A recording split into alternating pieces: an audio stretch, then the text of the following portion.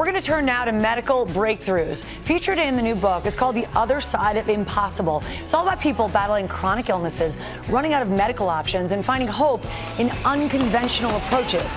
Mara Schiavocampo is here with all the details. Good morning, Mara. Lara, good morning. The stories featured in this book are really remarkable. A child making a full recovery from a painful illness, a woman confined to a wheelchair walking again, and all because they wouldn't stop looking for answers. At just three years old, Susannah Meadows' son, Shepard, was diagnosed with juvenile idiopathic arthritis, an autoimmune disease that causes swelling in the joints, pain, and fatigue. He was having trouble getting out of bed. He would walk with a limp. His doctors prescribed medication, but it made him sick. And with the pain getting worse, Susannah felt helpless.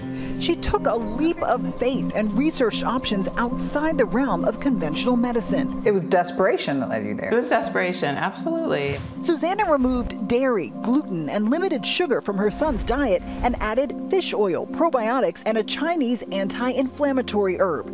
After six weeks, he said, Mommy, my knees don't hurt anymore. and ran out of the room, and you can imagine how stunning that was for us. Ah!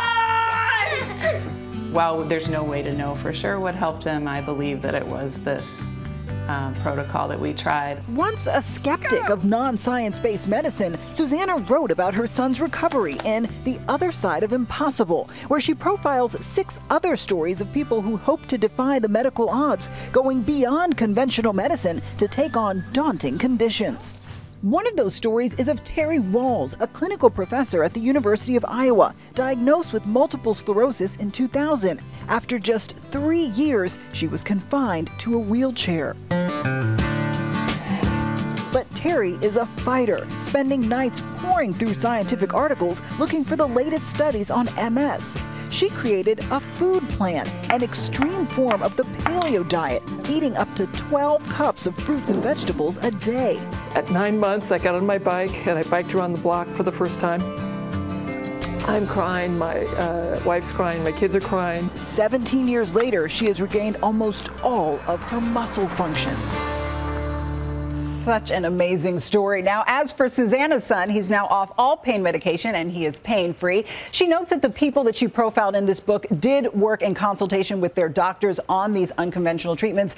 And Lara, she said the one thing they all had in common perseverance. They would not give up. Uh, it's that power of positive thinking. Amazing, Mara. Thank you. And Dr. Jen is with us now to talk more about it. So, what is your assessment on the link between these elimination diets and chronic disease? Well, there's not a lot of good research out there yet, and hopefully there will be. But let me explain explain to you basically what is involved in an elimination diet. If you look at this cascade here, this is kind of the, the major food groups that's part of the typical American diet. Yep. And the thinking is they all may contribute to a common pathway that ends in some type of inflammation that a lot of chronic illnesses have. With an elimination diet, you, you break that down, you bear it down to the bottom level, you take all these things out, and then you slowly add them in, reintroduce them. To see them. which ones are the ones that are causing if a problem possible. or not. So it's another way of thinking. You're really kind of taking all the junk out of our diet and eating clean, and the thinking is that that may reduce inflammation. Now, there's not a lot of research out there yet on this. Nutritional science is lagging way behind medical science. Mm-hmm. We need to understand more, but you've probably heard the saying, let food be thy medicine. Right. This is kind of an example. Yeah, we just saw that woman with MS. It's amazing. Yeah, it's a great uh, but there, there are some patient scenarios that should not try this. Yeah, I think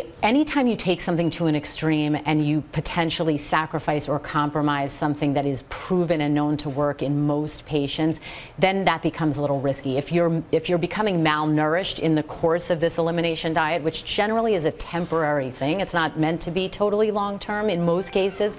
I think that's a problem. And again, Mara said it at the end. The best, in my opinion, holistic healthcare is when you incorporate the best of Western medicine mm-hmm. to the best of non Western medicine and really individualize that for a patient Do and find, find what works. But nutrition and food has to be a big part. It's our, it's our fuel, just yeah, like a definitely, car. Uh, and, and Mara mentioned perseverance, and I'm a huge proponent of that. The energy energy you put out is the energy you get back. Right. Does that really play into this? Absolutely it does. In medicine and science, we call that the placebo effect. This is real. This doesn't mean it's fluff in your mind. It's thought to work up to 30% of the time, which means if you go into something expecting a positive outcome, like your hip surgery, Mm-hmm. you have a good chance of experiencing that. And by the way, the flip side is also true. Yep. It's called the nocebo effect. If you go into something expecting the worst, you have a really good chance that Yeah. that's what you're going to feel. So Yep. this leads this. It's so important. This is really an important story. Yeah. I hope, I Yeah. pray it's all good. Thank you so much, You Dr. bet. Jen.